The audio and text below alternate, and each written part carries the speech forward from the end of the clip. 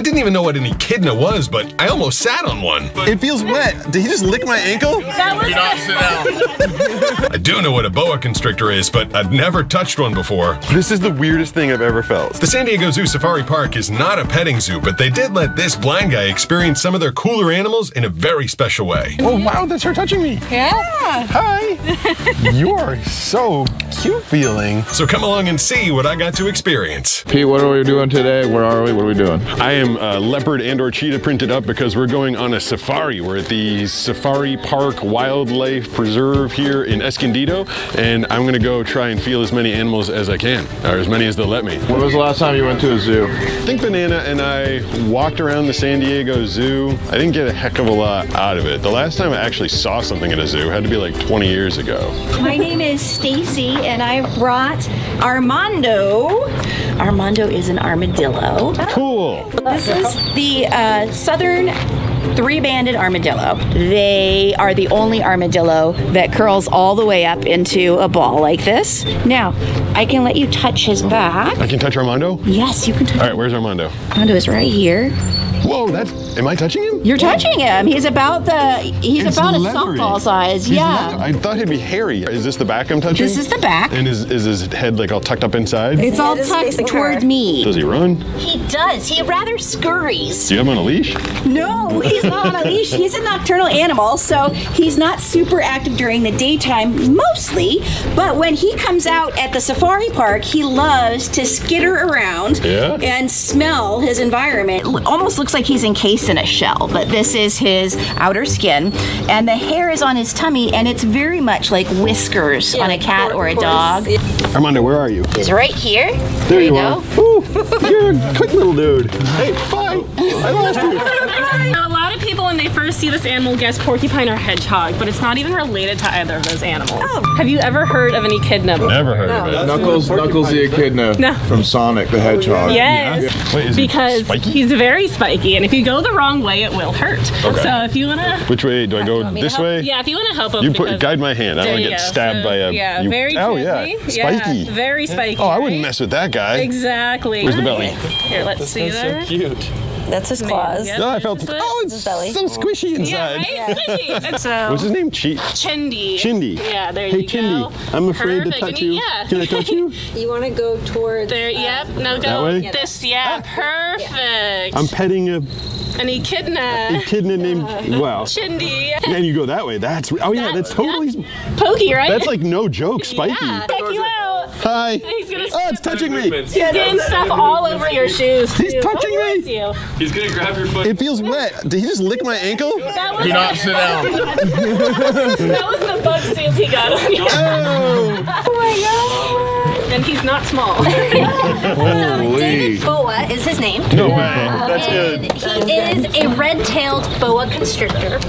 He's so hot. and Which way does it down go? to your left This exactly way? how you're going. Ew. So what you're feeling is about the first third of his body. You can keep going if down. I felt you in the ocean, I would probably pee my pants. He's trying to get you. What? Tell me if I need to move. Where's his face? If you hold your hand flat, No, you you'll said he bites. to- he doesn't bite. He doesn't bite. I'm gonna hold your hand here. Yeah. You'll be able to te- feel his tongue flick. Oh, I can feel him. He's licking me. Excited. You smell good. Yeah, he's, Do you, he's into do you you. have any mouse or rat on you? No. Oh, good. Then you're, A you're good. dog. Uh, welcome to the Okapi Bar. My name's Alexa. This is Michelle. We have um, one of our Osmo coffee that we're gonna see today, and he's loves like tactile reinforcement. He loves a good scratch, and he also Oh, loves. cool. Said he wanted Yeah, a yeah. no copy. Yeah, Totally. so, yeah. His name? His name is Noki. So Noki. you can keep going. You're gonna reach his ear. Oh, hello. That's a big hard ear you've got. Yeah. Like a giraffe. Oh, that's cool. He- He's got like um. Very short. He feels like velour. Cool. Whoa, there's something hard up there. What did I touch? Those are going to be his ossicones. Those are those bone-like protrusions of his skull. So um, giraffe do Cool. well. He feels so cool. Something happened. Two inches from your hand. Whoa, There you go. there you so go. that's the bottom of his chin. There you go. Do you want it? My dog likes it under the chin Right here, scratch. yeah. You you like want to scratch that? that, that's perfect. There you go. Now we're buddies. Ooh, he really likes that actually. He does. He, like I Look at said, he's very tactile, so he really enjoys. Um, n- okay, now. Oh yeah. I heard that. I heard. So he can reach up between. It's about an inch from your. Do you want my? There you go. Oh, you just took it. Jaw. you just took it. Delicious. That's some fresh lettuce right there. There we go. Oh, there we go. I got it over my legs. Yeah, all the padding in the back is like a built-in seat, and you're gonna be flying down uh, in similar fashion as like a ski lift, except Okay. you're gonna be going about 45 to 60. What? Ready to rock, Pete? I am ready to fly. Off. Bye, banana. See you at the bottom. I feel like the actual one's gonna be very scary. Oh, I'm there. Peter, are you ready for the most dangerous part of the tour? I heard this is it right here. It's not the zip line. It's Dreaded. my arch enemy. Right there. you go. yeah. There's one. And then there's three more. One, two, three, and one more to the ground. Alrighty, so on the way down, we want to make sure that we're holding onto those two straps on the side with your uh, equipment. You can obviously be holding onto that as well. Feet shoulder width apart. We just want to make sure that we're not screaming. Three, two, and one. Whoa, that's a fast count. oh my God, this is terrifying, but I'm not allowed to yell. Ah, I feel like I'm gonna pass out. I don't know what's going on. This is really fast. Okay, I don't know where the end is.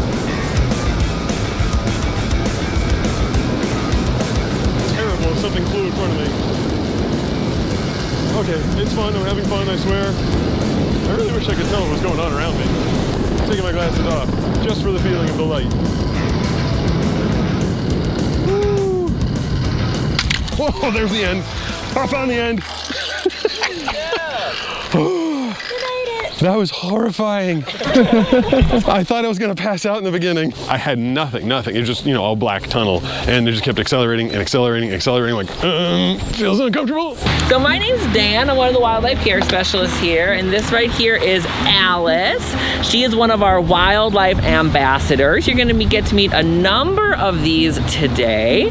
She is what we call an African gray parrot. So when I say wildlife ambassador, essentially what I mean by that is these are individuals that live behind the scenes that we bring out for training sessions like this to give them an opportunity to get up close and personal. Now, coming on in on the left is Mr. Mongo with Annette.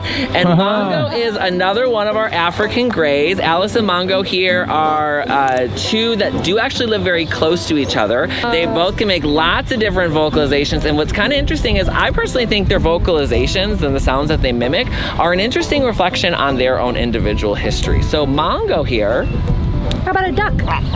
No way. so one of my absolute favorites that she learned to make that I can just absolutely imagine Alice making this sound and then different people around her getting very interested in it is this one. Radio. Well, that was a nice one. Radio. Can you bark? Can you bark? Oh, that's the cutest bark. How about a wolf? Oh, weather. you say hello? Good.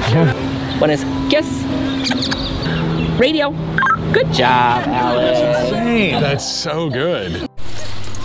Oh my god. And god. this is Ruby, the one and only. Where's Ruby? Right in front of me? Uh, underdeveloped when they're first born. I'm gonna bring her up really close to you guys to offer her food here, but she'll put her hands on Oh you. wow, that's her touching me. Yeah. Hi. you are so cute feeling. Little paws. She's got some pretty serious claws going She on. She does, yeah. And being Hi, a you. real She's You're so- Freddy Krueger. You're so friendly. Now All you're right, so perfect. now you can go right ahead. You want to guide right on the back there. Oh, perfect. So soft. I know. You are very, very soft. Oh my gosh, so soft. That's ridiculous. Very different from the hands, right? Like I said, like Yeah. paper versus like a fleece blanket. So she like being touched? She does enjoy it, but you know, just like any creature, very Yeah. much on her terms. And just leave it flat, Okay. and she'll put her hands. Oh, that's so funny. She puts her hands up when you put it out. hey, me and you are buddies now. I know. She's a, a really amazing kangaroo. Oh, Uh, so cool to feel her.